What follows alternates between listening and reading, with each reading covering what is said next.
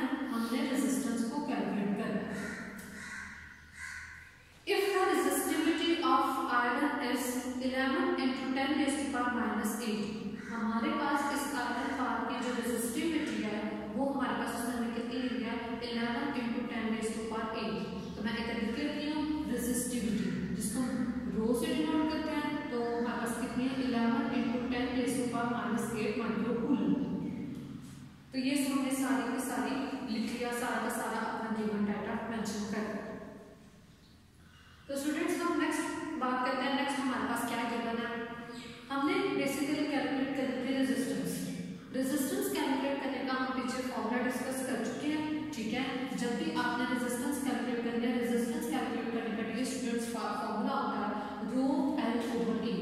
है इधर साथ में लेंथ लेंथ को आप डिवाइड कर देंगे ए बी से, आपके पास क्या आ जाएगी? रेजिस्टेंस तो चलिए अब हम अपनी वैल्यूज़ को इसमें पुट करते हैं। तो सारा डाटा आप लोगों के सामने मैंने मेंशन कर दिया। अब सिंपल आपने सिर्फ़ और सिर्फ़ वैल्यूज़ को पुट करना सबसे पहले हम देखते हैं रो रो आप लोगों को पता स्टूडेंट्स हमारे पास क्या की वैल्यू है? Eleven into ten raise to power minus eight ठीक है? ये देखें। रो की जगह eleven into ten raise to power minus eight इसके बाद हम लिखेंगे आप लोग को पता लेंथ सेंटीमीटर में सेंटीमीटर से आपने किसमें जाना है? मीटर्स में। तो सेंटीमीटर से जब मीटर्स में जाएँगे तो इसको डिवाइड कर देंगे हंड्रेड के साथ। ठीक है? हम इधर लिख लेते हैं फोर्टी इंटू टेन के सुपर माइनस टू ये ऊपर जाएगा तो ये नेगेटिव हो जाएगा। तो ये हम इसको सेंटीमीटर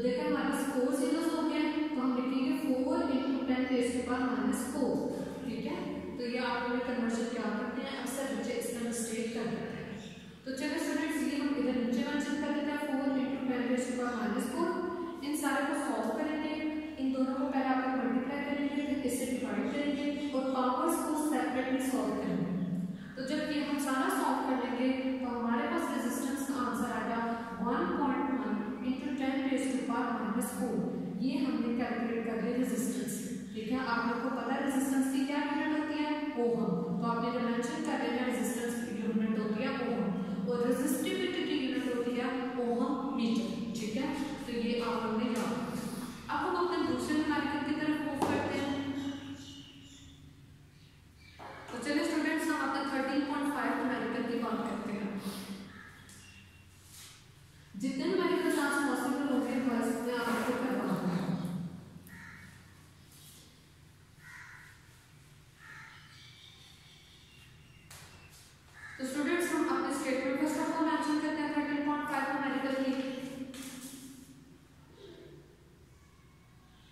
सबसे पहले हम लिखेंगे गिवन डाटा ठीक है? आप लोग को पेपर में जो मार्किंग होती है, वो गिवन डाटा ज़रूर लिखा जाता है तो इसलिए आप लोग इसको ज़रूर मेंशन करें the resistance of an iron file कहता है एक आपके पास आयरन के कोई भी फ़ाइल है, उस आयरन के वायर की जो resistance at zero degree Celsius ठीक है? आयरन के वायर की जो रेजिस्टेंस है ज़ीरो डिग्री सेल्सियस पे वो उसने दिया है one into ten raise to power four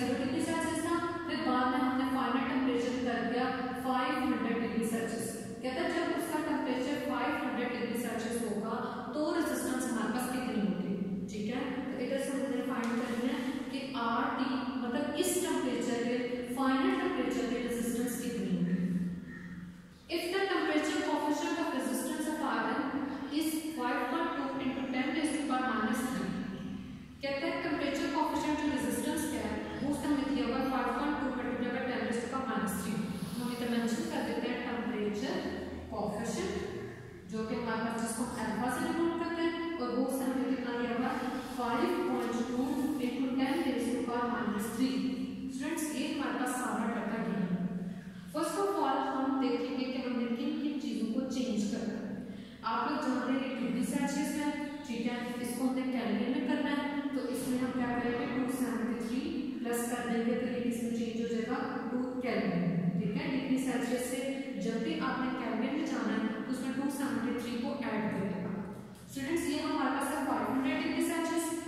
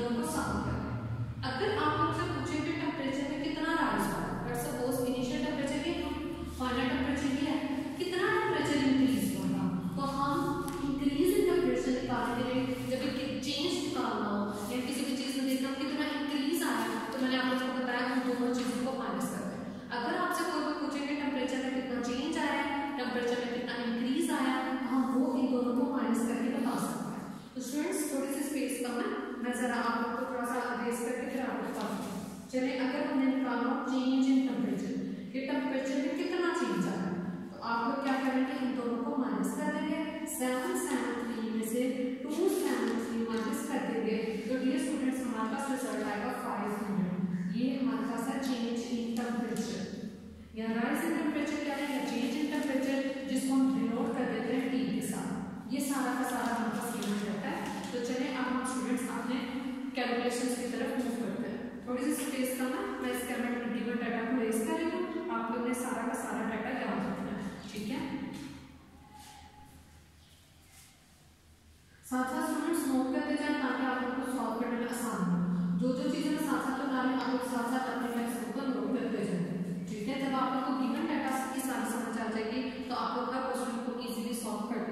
तो स्टूडेंट्स हमने फाइंड करना था टेम्परेचर ठीक है? फाइव हंड्रेड डिग्री सेल्सियस पे जब टेम्परेचर हो जाता है तो उसकी रेजिस्टेंस क्या हो गया वो हम निकल हैं। तो इसके लिए हम फॉर्मूला यूज़ करेंगे R T is equal to R naught one plus alpha T ठीक है?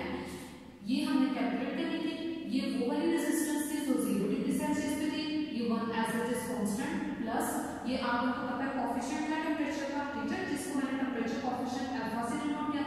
तो ये स्मॉल टी स्टूडेंट्स आप लोगों ने क्या करना है, ये होता है चेंज इन टेम्परेचर या फिर ज़्यादा आसान फोर्स में हम ये कह सकते हैं राइज इन टेम्परेचर कि टेम्परेचर में कितना राइज आया था कितना चेंज हुआ। ये टीम में अक्सर बच्चे स्टेट करना है तो ये आप लोगों ने अच्छे से याद रखना तो चलो स्टूडेंट्स हम अपने सारे के सारे वैल्यूज़ पुट करते हैं। आर्नोट है हमारे पास one equal ten is to power four ठीक है?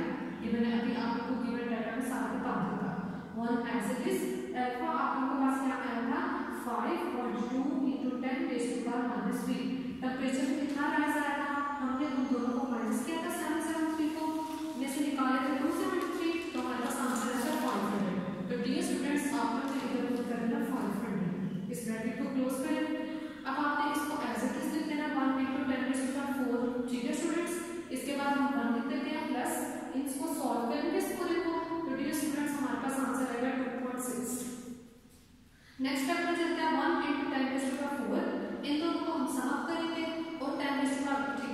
इन्हें डायरेक्ट कर देते हैं। ठीक है? आसान स्टेप है।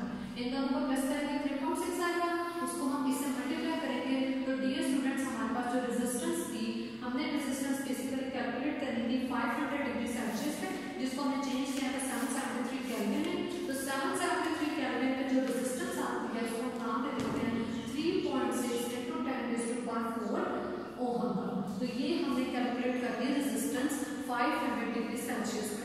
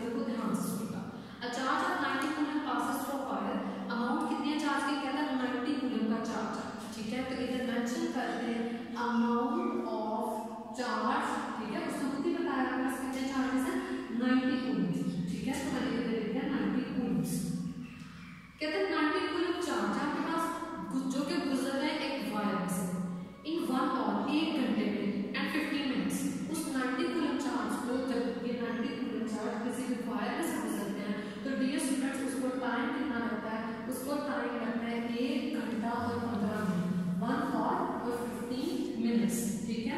इसको आप लोगों ने चेंज कर देना सेकंड्स में। तो आप लोग